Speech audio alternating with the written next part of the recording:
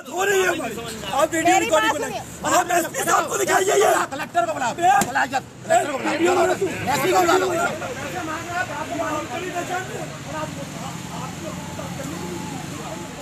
Madam अच्छे से बनाओ कलेक्टर को बुला लो एसपी को बुलाओ यहीं पे बहुत बड़ी मेरे फ़ोन आप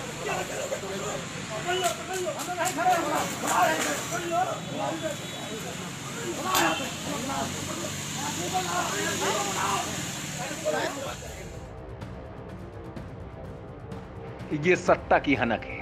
ये सत्ताधारी पार्टी के नेता हैं। इनका हंगामा देखिए। सिर्फ़ इसलिए क्योंकि पुलिस ने इन्हें रोका था।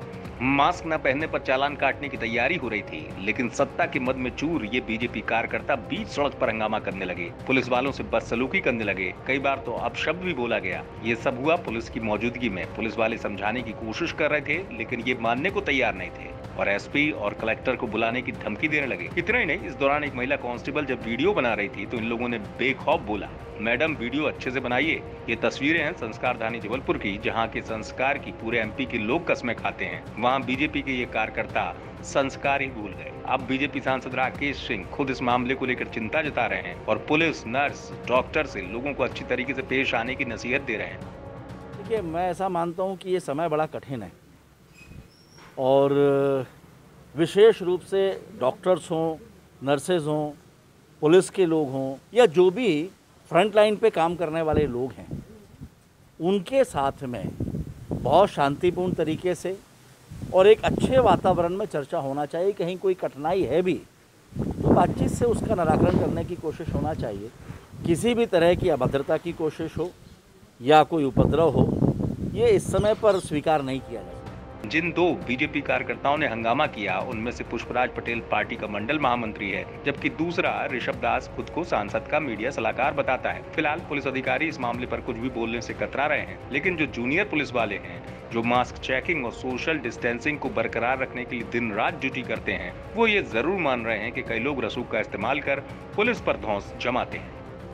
कोविड गाइडलाइन का पालन करवाया जा रहा है। चलान कार्रवाई दौरान कुछ गाड़ियों को रोका जाता है जो अपना पर्चा देते कि कहीं दवा का पर्चा लेके आ रहा है कहीं कुछ है।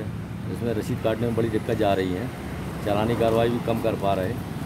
तो कुछ स्थिति ऐसे ही होती कि वाद विवाद होने की स्थिति निर्मित हो जाती है जिन्हें स्टाफ द्वारा समझ सब मिलकर सामूहिक रूप से समझाइश देकर और छोड़ा जाता है। क्या कुछ लोग रसूख भी दिखाने की कोशिश करते हाँ हैं? कुछ लोग दिखाते हैं सर।